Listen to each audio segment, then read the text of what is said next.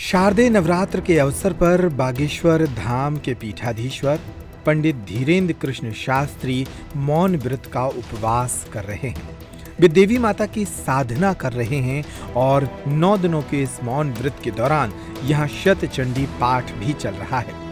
बागेश्वर महाराज इसी साधना के बीच कुछ पलों के लिए साधना कक्ष से बाहर निकलते हैं और देवी की आरती में सम्मिलित होते हैं।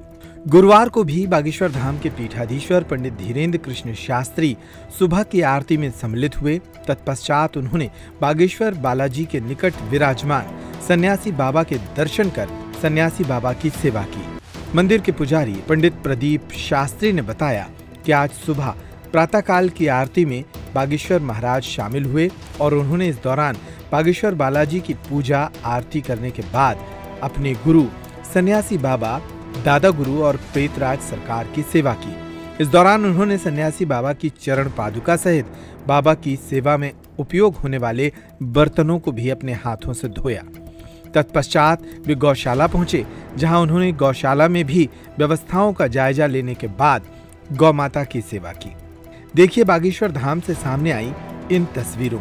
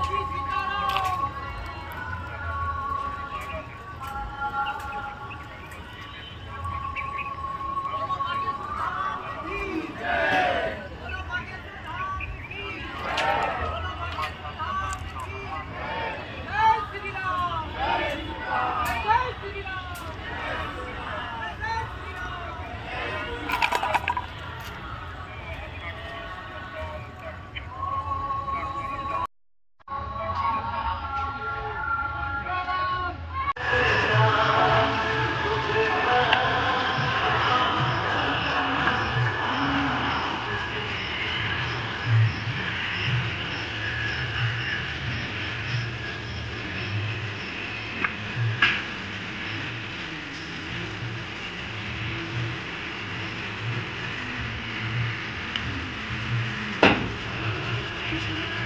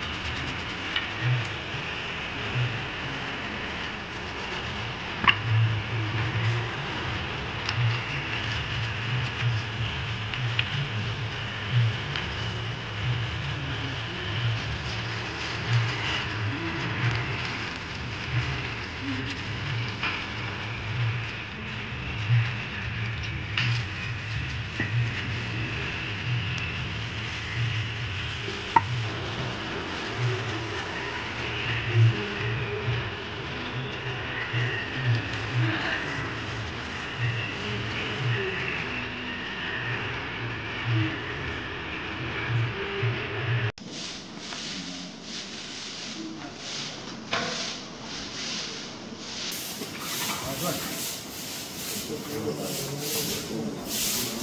Agora. Agora.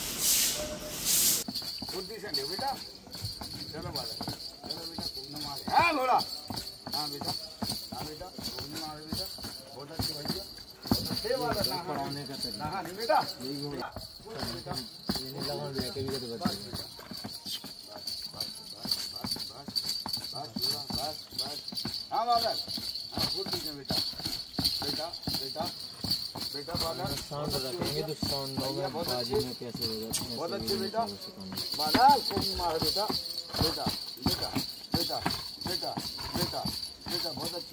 बहुत अच्छी बेटा।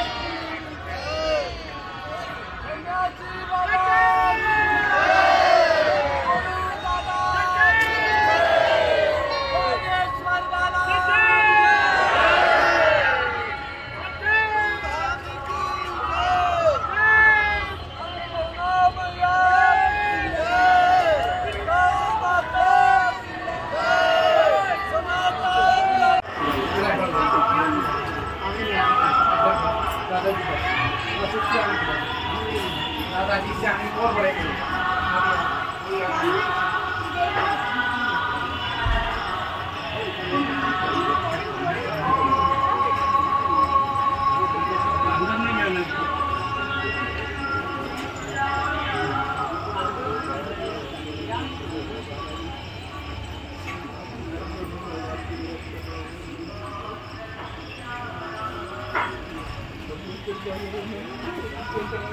Thank you.